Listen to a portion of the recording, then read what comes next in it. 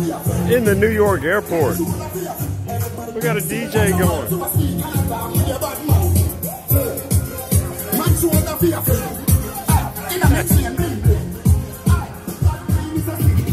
In the New York airport.